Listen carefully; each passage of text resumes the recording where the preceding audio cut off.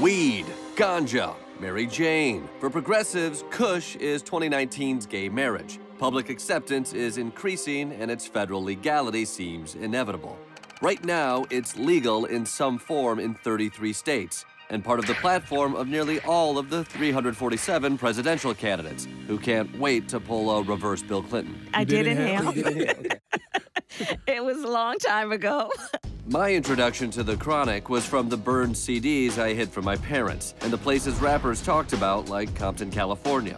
Nearly 30 years later, weed is now fully legal in California. And what better place to celebrate our progress than with the self described king of Compton weed, Virgil Grant? So, where are we at? D's Liquor, uh, City of Compton, my dad's liquor store. We still own it.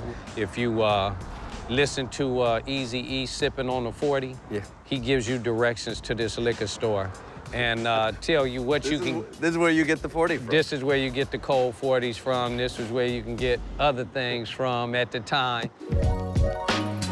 you ran Compton? Oh, I ran Compton. When it came to the marijuana, oh, that Chronic album was inspired by the weed I had and I sold. So, you're like, you're an uncredited producer on most of the early Death Row Those records. cats were smoking my weed, Purple Kush. That was my Purple Kush Snoop was smoking on. You're his Purple Kush guy? Man, come on, he know that. Where can I buy legal weed in Compton? Nowhere, What? nowhere. That's right. In the home of the Chronic, you cannot legally buy the Chronic. Measures to bring regulated marijuana to Compton were rejected at the polls yesterday. Compton's current ban on marijuana businesses will now remain in place. Is that crazy that you can't get legal weed in Compton? It's crazy, ridiculously crazy, because Compton was the place that everybody came to to get weed back in the day. I was gonna say it's like going to Miami and not getting cocaine, or going to any city in Florida and not getting meth. So it is legal, but most people in Compton don't want weed sold in their community. In fact, most cities in California, 80%, don't want recreational weed sold in their communities. So while my relationship to weed looks like this, Extra, extra. Smoke all about it. that might be slightly naive. As communities traumatized by aggressive over policing and racist sentencing from the war on drugs have a different perspective. You think it's a trap? It is a trap. No doubt about it. It is a trap. Meet Pastor Prince, who helped lead Compton's Vote No campaign. He saw his city destroyed by drugs and doesn't think that legalization will actually benefit the community. Compton has had a reputation for too long being uh, hip hop, uh, drug infested, gang warfare. We wanted Compton to have a reputation, a different reputation. There's some critics uh, on the other side of the Vote No campaign. It says getting on the ground floor of the legalization movement is one way in which to at least get a seat at the table. It's an illusion of inclusion. Illusion of inclusion. Yes. Like back in high school when people said, oh, you're part of our team, we're cool, and then you realize they had a party last weekend and you weren't invited. Yeah, yeah, yeah. You got it. Yeah, I've been on the other side of that illusion before. It's painful. Many in the Vote No campaign felt Compton's image was tarnished and their community was destroyed by cannabis. Crack cocaine, PCP, methamphetamine, gangbanging. Those were the issues that was prevalent then, and cannabis was was nothing. Ronald Reagan's war on drugs clearly had an impact on communities like Compton, derailing lives of residents like Virgil, who spent a collective nine years behind bars for dealing.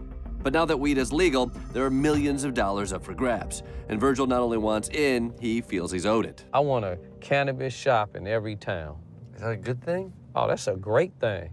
This is an opportunity for us to be in a business that could change people's lives. Not only change lives for yourself, but it could change lives for a community. If it wasn't for the music that comes out of our culture, the Chronic albums, the I Got Five on it, we created this market and started it. And then you're gonna tell us we can't play in it now that it's legal?